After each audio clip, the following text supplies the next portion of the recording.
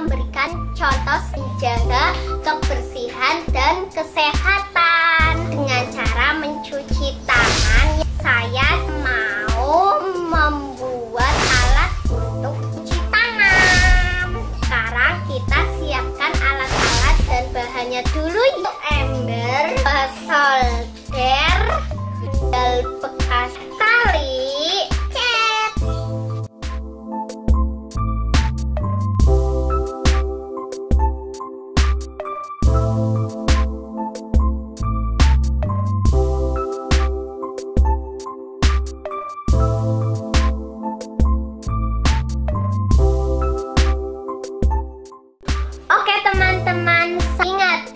saja bersama lawan COVID-19